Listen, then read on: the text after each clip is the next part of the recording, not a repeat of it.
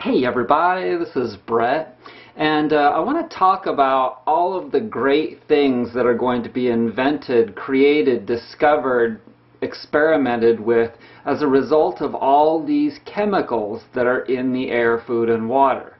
You see, people are getting really sick and desperate because of all those things, and so because moving out to the country is such a difficult option, they're experimenting and doing all kinds of things in the most polluted and toxic places, like, for instance, LA. You're going to see more holistic, new agey shit come out of the Santa Monica area of California than you will see anyplace else.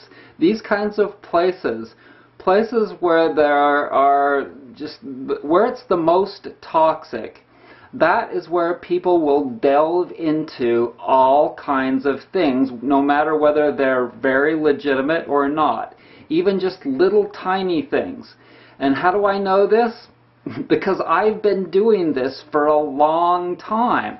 But my inner voice for a long time also told me that, man, if you really want to get healthy, you need to get the fuck out of the city to get away from municipal water and auto exhaust because those were the things that really bothered me the most.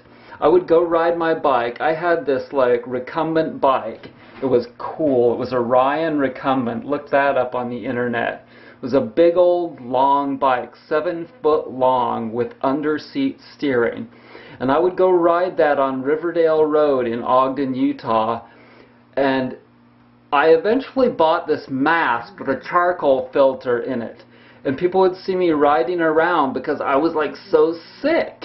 and so what happens is people get desperate and they'll be like chanting all kinds of shit from other countries that they don't even know what the words mean. They'll be like dingling things over their heads and saying all kinds of things that, like, doing all kinds of things, just anything to, to feel better. Any fucking thing that you can do to feel better. And it, a lot of it will have the placebo effect, and you might feel better for a while. But the bottom line is that until you stop talk, intoxicating your body with all this bullshit that's in the air, food, and water, it's like it's kind of a never-ending battle. You see, it came to me a couple of years ago that it was getting close to being the time for me to escape. And when I finally did, I like I, I had to go through this you saw me out on the road looking, searching, where shall I go? I ended up back here in North Carolina. All I had to do was move out in the country. It wasn't really that hard. You find a place out in the country where there is no municipal water so it has to be away from a town a little bit, but it doesn't have to be that far out. And then as soon as you get away from the town, then you get away from the cell phone towers for the most part too, and you get away from the cars for the most part too. You have now dramatically reduced the toxins going in through there, there, and there. And through your ears, because you don't hear all the sirens because you're not in the concentrated area of where human beings are. Human beings have not achieved the desired, my desired respect for health. Health is not a high priority for people. Toys is a high priority. And a big house and having a better education than your neighbor, etc. Having bigger and better things than the guy next door. That's a high priority. To be able to brag about the things that you have. That's a high priority. Until you get down hard in the dumps, you don't get that priority. Okay? So it, it's cool to, to check out all these little things, you know? The raw vegan diet is significant to a degree. Okay, but It's something that won't last because it may it may clean out the body really well. It may give some people a lot of strength, but but coconuts and papayas don't develop the mind. And they have to sit and eat those foods for hours and hours a day to get what you would get with eating concentrated foods, grains and beans, and meats too. And, and so there's a lot of things that are fads.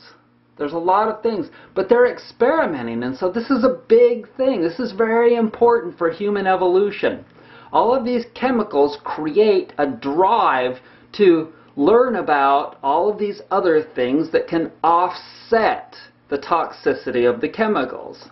Okay, for me, it's better just to stay the fuck away from all the chemicals and all of the funny business. It's not just that, it's the lifestyle too. That people spend 10 or 20 times too much time using televisions and computers and all of the other gadgets because they're new inventions. They're new to human the human evolution. It's new. And so people are going ape shit over all of that. After everything balances back out, people will spend maybe an hour a day doing that. It's not natural or healthy to sit in front of a desk for the last hundred years, people have been doing that for like eight hours a day, a lot of people. Is that healthy? No. There's no way that anybody should be sitting in front of it behind a desk for more than two hours in a day. I guarantee you that if you continue to do that, eventually you'll pay. Your back, your legs, then your mind will be affected by all of that. So you have to figure out, ask yourself, for everything. Is that natural and is it healthy? Is this a natural place and is this a healthy place to do? If you, if you take a big whiff of, uh, of uh, uh, diesel fumes from the truck in front of you and you're doing that for many, many minutes a day, every day you're sitting in traffic, ask yourself, is this healthy for me? Why am I doing it then? What do I have to do to back my ass out of here? So I want to thank you for joining me. I hope you are well. Bye-bye.